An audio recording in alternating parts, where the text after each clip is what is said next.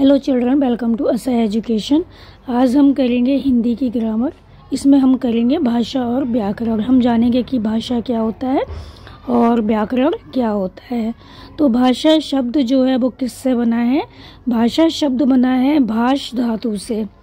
इसका अर्थ होता है बोलना.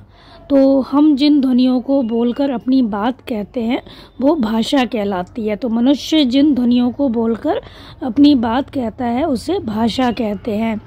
इसलिए हम भाषा की परिभाषा इस प्रकार दे सकते हैं। अपने मन के भावों और विचारों को बोलकर या लिखकर या पढ़कर, प्रकट करने के साधन को कहते हैं भाषा।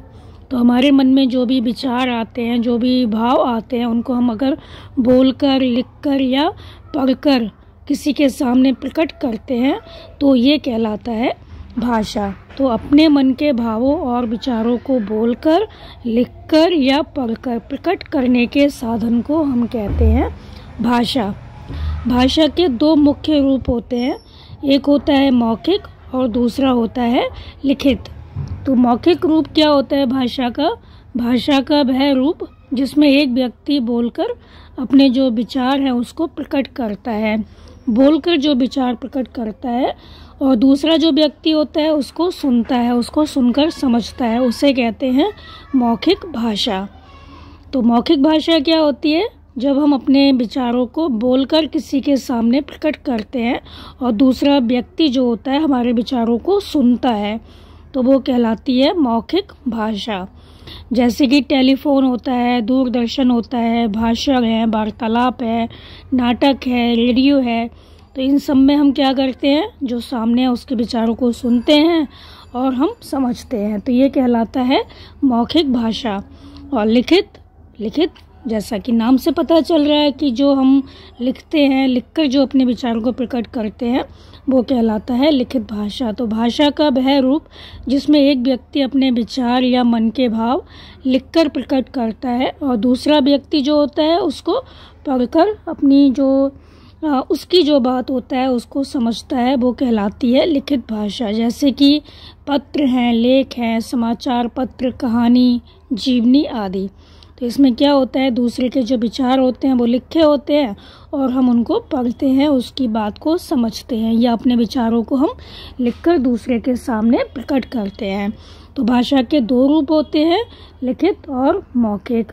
और भाषा क्या होती है? अपने मन के भावों और विचारों को बोलकर, लिखकर या पढ़कर प्रकट करने के साधन को भाषा कहते हैं। यहाँ हमने भाषा के दो रूप बताए, लेकिन एक रूप जो होता है, वो होता है सांकेतिक। मतलब हम संकेत के द्वारा भी अपने मन के भावों को प्रकट कर सकते हैं, लेकिन मुख्य रूप से भाषा के दो ही रूप होते हैं, वो होता है मौखिक और लिखित। अब क्या है, भारतीय संविधान में जो भाषाएँ हैं, कई सारी बाईस भाषाएँ उनको मान्यता प्रदान की गई है, जैसे कि हिंदी है, असमिया है, बंगाली है, डोगरी है, बोडो है उर्दू, नेपाली, गुजराती इस तरह से कई सारी भाषाएँ हैं जिनको संविधान के द्वारा मान्यता दी गई है। तो 14 सितंबर उन्नीस सौ उनचास को हिंदी भाषा संघ की राजभाषा घोषित की गई और केंद्रीय सरकार का जो भी कामकाज होता है उसमें हिंदी भाषा को अनिवार्य घोषित कर दिया गया। केंद्रीय सरकार का कोई काम होगा, वो हिंदी भाषा में ही होगा।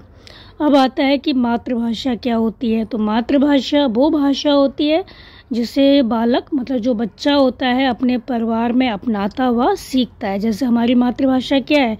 हिंदी है।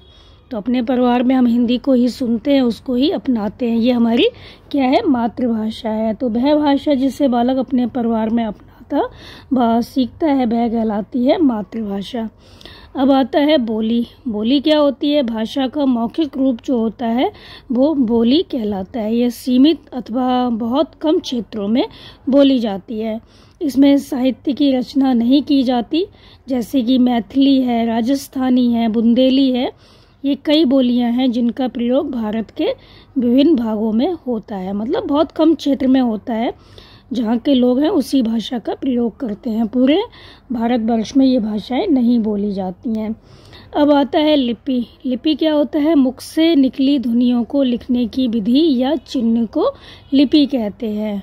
तो हमारे मुँह से जो ध्वनियाँ निकलती हैं, उनको लिखने की जो विधि होती है या चिन्ह होते हैं, उनको कहते हैं लिपि। तो संसार की विभिन्न भाषाओं को लिखने के लिए अनेक लिपियाँ प्रचलित हैं, जैसे कि संस्कृत, हिंदी, मराठी भाषाएँ जो हैं, वो किसमें लिखी जाती हैं? देवनागरी लिपि में लिखी जाती हैं। तो हिंदी भाषा की जो लिपि है, वो क्या है? देवनागरी लिपि है। फिर आता है व्याकरण। अब व्याकरण क्या होता है? भाषा को शुद्ध रूप में लिखना, पढ़ना और बोलना। सिखाने वाला जो शास्त्र होता है, वो कहलाता है व्याकरण। तो व्याकरण में भाषा के वर्ण शब्द, पद और वाक्य पर विचार किया जाता है। तो इस आधार पर इसके चार अंग होते हैं। वर्ण विचार, शब्द विचार, पद विचार और वाक्य विचार। अब सवाल उठता है कि वर्ण विचार क्या होता है? तो भाषा की सबसे छोटी ध्वनि जो होती है, वो कहलाती है वर्ण कोई भी भाषा है, उसकी सबसे छोटी जो ध्वनि होती है, वो कहलाती है वर्ण और शब्द क्या होते हैं? वर्णों के सार्थक मेल को शब्द कहते हैं। तो जो वर्ण होते हैं, जब आपस में मिल जाते हैं तो वो क्या कहलाते हैं? शब्द कहलाते हैं। लेकिन वो सार्थक होने चाहिए मतलब उसका कोई अर्थ होना चाहिए। अब आता है पद विचार तो पद क्या होते हैं? वाक्य में प्रयुक्त होने वाले शब्द को ही पद कहते हैं। तो कोई भी वाक्य होता है, जैसा जैसे हमने कहा, नेहा दूध पीती है, गाय घास खाती है। तो ये क्या हुआ? पूरा एक वाक्य है। तो वाक्य में प्रयोग तो होने वाले तो ये नेहा क्या हम कहते हैं नेहा तो ये शब्द हुआ, लेकिन नेहा दूध पीती है तो ये क्या हो गया? तो पूछा जाएगा इसमें नेहा क्या है तो ये पद हो गया। अगर खाली पूछा जाता है कि नेहा क्या है तो नेहा क्या हुआ? शब्द हुआ। खाली वाक्य में नहीं है अगर नेहा। और किसी वाक्य में प्रयोग किया जा रहा है नेहा का तो ये क्या हो गया? पद हो गया। नेहा दूध पीती है तो नेहा यहाँ पर क्या है? पद है, शब्द नहीं है। जैसे गाय घास खाती है। तो घास पूछा गया, घास क्या है? तो आपको यहाँ पे शब्द नहीं लिखना, बल्कि ये लिखना है पद, क्योंकि घास का जो प्रयोग हो रहा है, पूरे एक वाक्य के अंदर हुआ है। तो ये हो गया पद। तो वाक्य में प्रयुक्त होने वाले शब्द को ही पद कहते हैं। इसको आपको बहुत ध्यान से समझना होगा। जैसे कि कोई भी वाक्य के अंदर किसी शब्द का प्रयोग किया जा रहा है तो वो कहलाता है पद, और बगलों के सार्थक मेल को शब्द कहते हैं। तो जैसे हम कहते हैं कबूतर तो इसमें क्या है? का है वाह है, ता है, रा है। तो ये क्या है? बगलों का मेल हो गया, ये हो गया शब्द। लेकिन अगर हमने वाक्य बना दिया कि कबूतर बहुत सुंदर पक्षी है तो कबूतर यहाँ पे क्या हुआ? पद हो गया। अब आगे है वाक्य विचार। तो एक ऐसा शब्द समूह जिसका अर्थ या भाव पूरा पूरा समझ आ जाए, उसे वाक्य कहते हैं। तो एक ऐसा शब्द समूह जिसका अर्थ या भाव पूरा पूरा समझ में आ जाए, उसे वाक्य कहते हैं। तो कोई भी ऐसा वाक्य जो सार्थक हो, जिसका अर्थ होता हो, जिसका भाव समझ में आ जाए, उसको कहते हैं वाक्य। जैसे जैसे हम कहते हैं, मोहन पुस्तक पढ़ता है। तो हमें समझ में आ गया कि मोहन ने क्या किया? पुस्तक पढ़ी मतलब मोहन जो है, वो पुस्तक पढ़ रहा है। तो एक ऐसा शब्द समूह जिसका अर्थ या भाव पूरा पूरा समझ आ जाए, उसे कहते हैं वाक्य। अब वाक्य के दो भाग होते हैं। एक होता है उद्देश्य और दूसरा होता है विधेय। अब उद्देश्य किसे कहते हैं? जिसके विषय में कुछ कहा जाए, उसे उद्देश्य कहते हैं। जैसे कविता सेब खाती है। तो कविता क्या करती है? सेब खाती है। तो कविता के विषय में कुछ कहा जा रहा है तो कविता क्या हो गई? उद्देश्य हो गई। अब है विधेय। तो जब उद्देश्य के विषय में कुछ कहा जाए उसे विधेय कहते हैं। जैसे आ, कविता सेब खाती है हमने कहा था तो इस वाक्य में कविता के विषय में कहा गया है कि वो क्या करती है? सेब खाती है। तो सेब खाती है यह क्या हुआ? वाक्य का विधेय भाग हो गया। यह भाग जो है वो विधेय कहलाएगा। तो कविता हो गई उद्देश्य और बाकी का जो वाक्य हो गया वो हो गया विधेय। देखते हैं, कुछ प्रश्न पहला है हम बातचीत किस माध्यम से करते हैं? तो हम बातचीत किस माध्यम से करते हैं? तो चार ऑप्शन दिए गए हैं, लिपि के माध्यम से, वाक्य के माध्यम से, भाषा के माध्यम से या वर्ग के माध्यम से। तो आंसर होगा भाषा। तो अगला प्रश्न है, भाषा के कितने रूप होते हैं? लिखित, सांकेतिक, मौखिक, सभी। तो यहाँ पर भाषा के हम लिखेंगे, सभी रूप होते हैं। मुख्य रूप से दो होते हैं, लिखित और मौखिक, लेकिन सांकेतिक भी भाषा का रूप है। फिर है, भाषा के कितने रूप होते हैं? तो मुख्य रूप से भाषा के दो रूप होते हैं तो हम लिखेंगे दो। फिर है, हिंदी की लिपि कौन सी है? तो हिंदी की जो लिपि है, वो है देवनागरी। पहले का आंसर होगा भाषा, दूसरे का होगा सभी, तीसरे का होगा दो, और चौथे का आंसर होगा देवनागरी।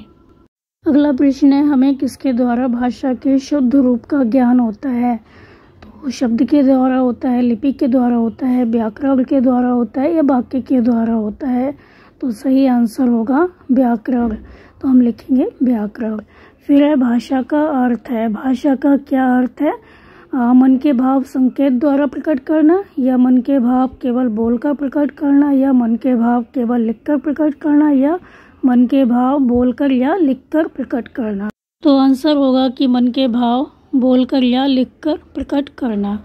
आपका अगला प्रश्न है, वाक्य किसे कहते हैं? शब्द समूह को, वर्ग समूह को, वर्गों के मेल को या शब्दों के सार्थक मेल को? तो वाक्य किसे कहते हैं? शब्दों के सार्थक मेल को। ऐसे शब्दों का मेल जो कि सार्थक हो, जिसका कोई अर्थ निकलता हो। यहाँ पर हमने सीखा कि भाषा क्या होता है और व्याकरण क्या होता है। तो आप इसको अच्छे से समझ कर याद कर लीजिए और हमारे चैनल असा एजुकेशन को लाइक कीजिए, सब्सक्राइब कीजिए और शेयर करना बिल्कुल मत भूलिए। Thank you.